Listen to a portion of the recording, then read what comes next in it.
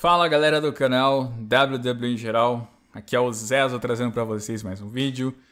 E galera, pois é, 5 anos, nesse último dia 3 de dezembro, nessa última quinta-feira, o canal WWE em geral, esse canal completou 5 anos de existência, 5 anos que foi criado. É, eu não quis gravar no dia um vídeo ali, porque eu queria me preparar melhor, não precisava soltar certinho um vídeo ali no dia em específico. É, quero deixar avisado que eu pretendo fazer uma live com vocês, respondendo algumas perguntas, conversando com vocês aí, né? É, mas eu deixei para fazer, sei lá, daqui duas semanas, que vai ter meu aniversário daqui duas semanas. Acho melhor fazer para lá mesmo, porque eu vou ter mais tempo.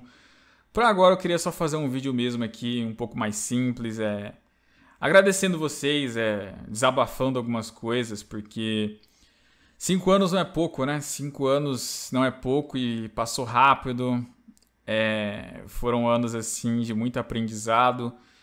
E antes de eu falar sobre esses cinco anos, eu quero falar em específico esse último ano, né? Esse ano agora que passou, que se completou, porque não foi um ano nada fácil, né? Foi um ano complicado assim para mim, um ano de muita força porque o ano de 2020 em si foi um ano complicado para todo mundo, né? Mas falando especificamente de mim, assim, e do, do canal WW em geral, é, a gente passa por vários problemas, né? A gente passa aí por ataques, apesar de é, o meu canal em si sofrer ataques já há muito, muito tempo, né? E aí, é claro que eu não sou nenhum santo, mas sempre de maneira exagerada, sempre pessoas assim de maneira desonesta tentando distorcer algumas coisas e tentando te cancelar, né? Eu, eu, eu fui cancelado antes da época que existia cancelamento, né? Mas é, é, até engraçado como no começo do ano ali, pessoas grandes chegavam em mim e falavam para eu tomar cuidado, né? Porque é, quando alguém grande chega em você e diz, cara, toma cuidado, tem um ninho de cobra querendo te derrubar, é porque você talvez esteja num estágio onde realmente seja preocupante, onde realmente existam pessoas que têm um ódio enorme em você e querem acabar com o seu canal, né? E é. desde o começo do ano isso já começou aqui com o canal WWE em geral, né? Então, logo de início eu já tinha de que. Já tive que tomar algumas providências, já tive que me preparar um pouco ali pro, pro que eu vinha sofrendo, né? É, que é triste, porque é gente do meio que é um meio pequeno, mas que parece que não se importa muito assim se o canal aqui ele é importante para algumas pessoas, não importa se o canal ele é importante para mim, se o canal existe há anos, se o canal é uma fonte de renda, não interessa. Simplesmente ele tem que acabar porque não gosta. As pessoas às vezes é, deixam o ódio e a vontade de cancelar alguém tomarem conta, né? É, mas eu posso dizer que talvez esse tenha sido o menor dos problemas nesse ano aí de, que passou agora pro canal aqui, né? Foi só o, o primeiro, né? Porque o tempo passou e a gente chegou ali em fevereiro para março, mais ou menos. É, eu já falei aqui com vocês no canal, eu acabei tendo um problema pessoal que foi o término do meu relacionamento, né? E a garota que eu estava ali, vocês conhecem ela, ela apareceu aqui no canal, fez vários vídeos comigo e e era algo assim que funcionava, né? O pessoal gostou bastante aqui dela, tinha carisma e é, os vídeos estão até hoje no ar, aí, até porque faz parte da história do canal. E foi muito ruim para mim, foi muito triste assim para mim pessoalmente, né? Eu, eu, fiquei muito abalado durante um bom tempo ali. E porque assim, era uma pessoa que eu fazia de tudo junto com ela, né? Tipo, qualquer coisa que eu fosse fazer era junto, assim. A gente era meio que parceiro além de tudo, a gente era amigo além de tudo, né? Então, qualquer lugar que fosse sair, qualquer filme que fosse ver, qualquer coisa que vocês imaginarem, a gente sempre estava junto, né? E eu tinha tantos projetos para esse ano de 2020, aqui no canal, de trazer outras vezes, de começar até, quem sabe, algum outro ali, né? E infelizmente as coisas acabaram logo no começo do ano desandando. É, meio que a maneira como as coisas acabaram assim me surpreenderam, né? Porque eu acho que normalmente quando um relacionamento vai acabar, talvez você até meio que esteja já prevendo, né? Que, pô, acho que não vai ir muito longe. O que não foi o caso, né? Rolou ali uma crise muito rápida e, nossa, foi assim ladeira abaixo e aquilo me deixou muito para baixo durante um bom tempo, né? E eu fiquei muito triste. E foi um pouquinho antes de começar a pandemia do Covid para priorar, né? Porque ainda por cima fez você ficar meio que preso em casa. Geralmente, quando você acaba um relacionamento, você ainda, sei lá, às vezes sai, viaja um pouco, é, dá uma esquecida, né? O que não possibilitou na época, ainda por cima, né? Tipo, é, meio que veio toda essa pandemia, e aí você começa a ver as notícias, você começa a ver os casos, você começa a te afetar também ali, né? Tipo, você vê as pessoas morrendo, você vê toda a discussão que está tendo. Aí seu cotidiano muda, você não pode mais sair tanto, ir na academia e tal, você tem que ficar em casa no começo. Hoje em dia até que não tanto, tanto esse problema, mas é, veio tudo isso de uma vez, né? Veio uma onda ali.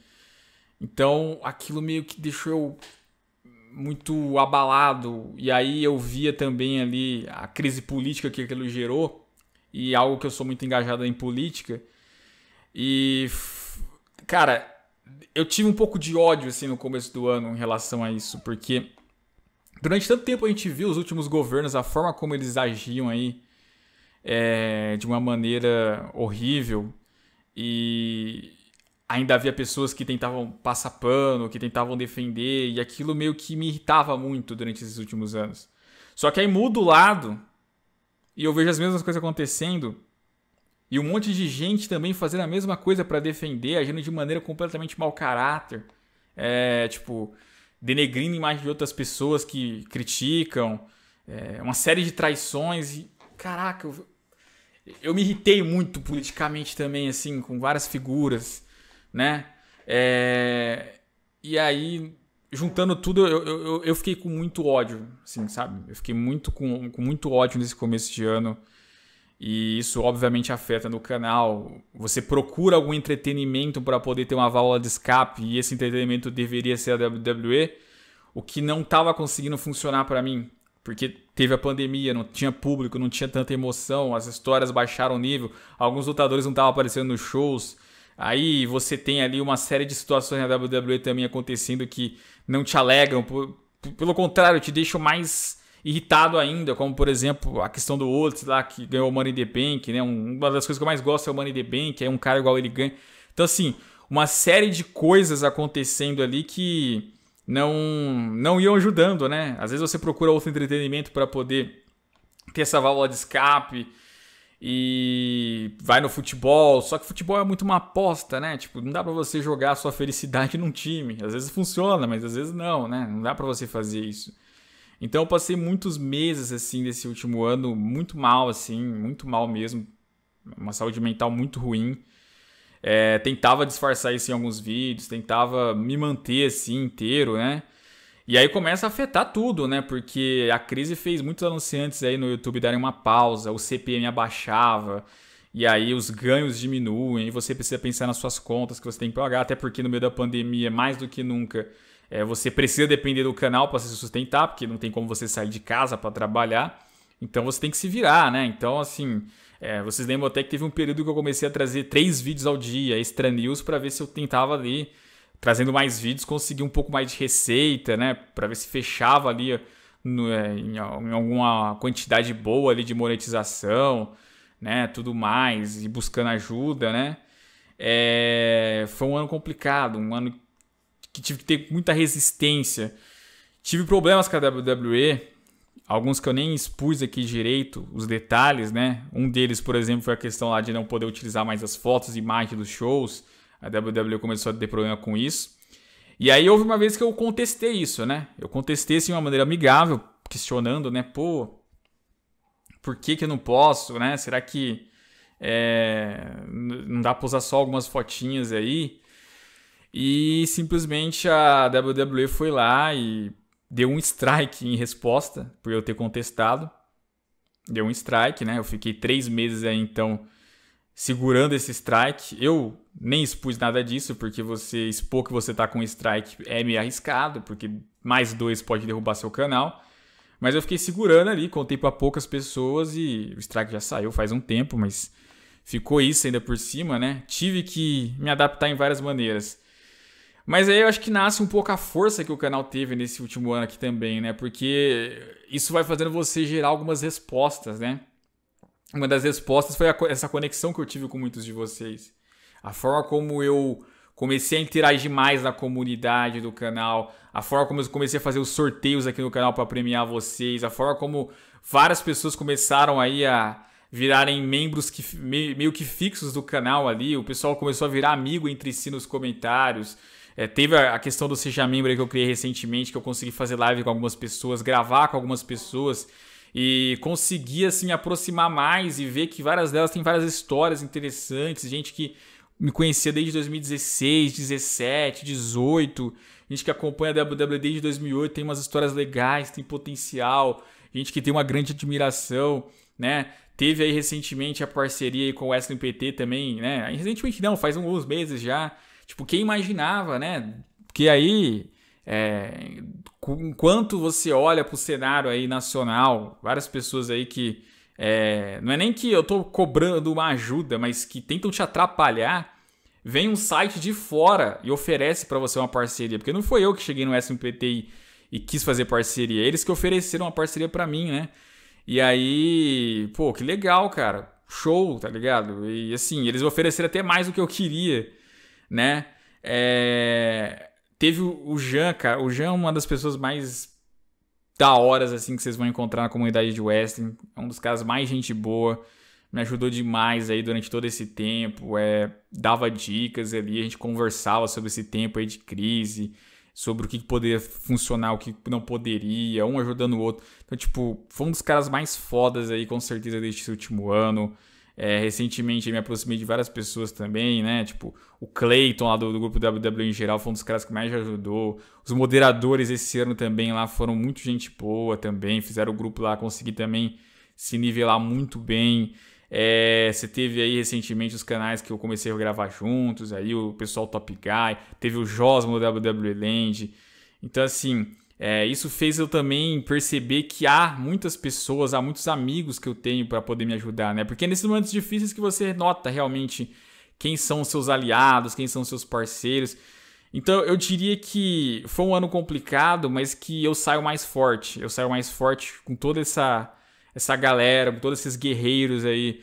Tipo, você pode ter certeza que é, 2020 foi um ano de muito aprendizado, mas também aí de muita resiliência, né?